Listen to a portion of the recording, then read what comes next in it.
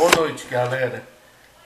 Eu vou fazer o, a, o vídeo hoje é, falando sobre os dislikes do vídeo anterior, do, da microhistória. E fa, falar o seguinte, será que esse pessoal que deu dislike no vídeo, possivelmente são pessoas que não gostam do, do conteúdo é, acha que é baboseiro estudar, é, estudar minorias, é, é o que os conservadores chamam de vitimismo, por um acaso. Por isso que vocês deram um dislike, ou, ou foi por conta de eu falar que, que a microhistória tem, certo, tem certos problemas, porque é, ela é trabalhada mais no, no campo da historiografia é,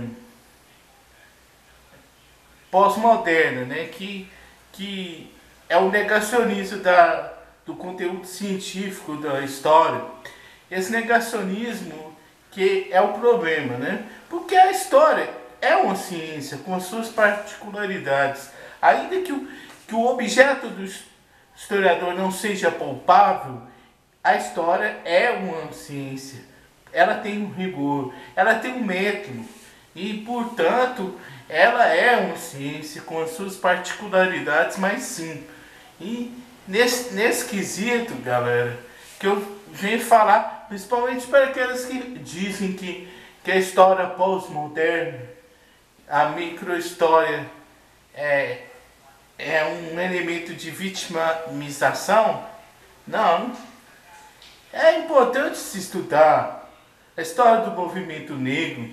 É importante se estudar a história do movimento feminista, sim. Porque as ações humanas que esses grupos é, conseguiram é, promover mudaram a história da humanidade. E, portanto, faz-se necessário um estudo dessas minorias. E no mais, galera, não, deixe de dar o joinha, o joinha, compartilhe esse vídeo nas redes sociais para o crescimento do Ciências Humanas TV. De, é, verifique se estão inscritos no, no canal e tenham uma boa noite.